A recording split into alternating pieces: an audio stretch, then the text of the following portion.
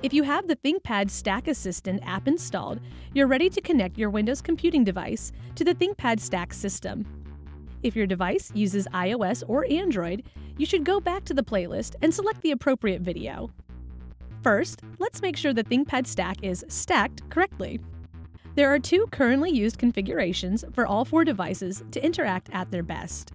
Scenario A is a good setup that would allow you to reset your router if you need to without disrupting power to the other units. The Bluetooth speaker can be used as a standalone Bluetooth device or connected to other stack device combinations. First, press the power button to turn on your Bluetooth speaker. You can connect to the Bluetooth speaker a couple of different ways. Go to the Windows Start menu, select Devices and Printers.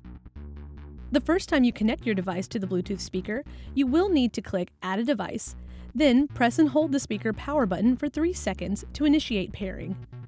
For security purposes, the connection process will not stay available for very long, so you will want to connect soon after powering on the device. Then click Next.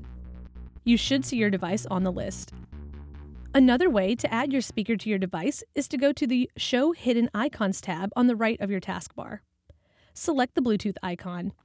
Then choose Add a device to install or Show Bluetooth devices to reconnect.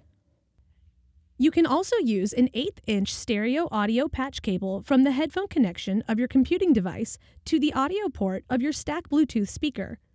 Using a cable gives the best sound quality but restricts mobility.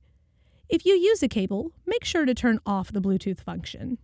The speaker has an internal battery but longer play will happen when directly connected to the stack power bank or to your computer using a micro USB charge and sync cable. To learn more about the other functions of the ThinkPad Stack, go back to the playlist.